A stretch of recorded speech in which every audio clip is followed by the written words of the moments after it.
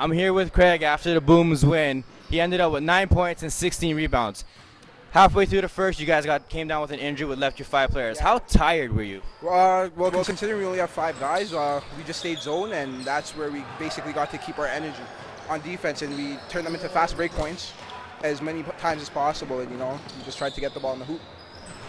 What was your main focus as a player? Uh, my main focus was basically to just like uh, on defense to be as much as an influence, like uh, changing shots and stuff. That's basically what I'm here for, and passing. That's basically what I do.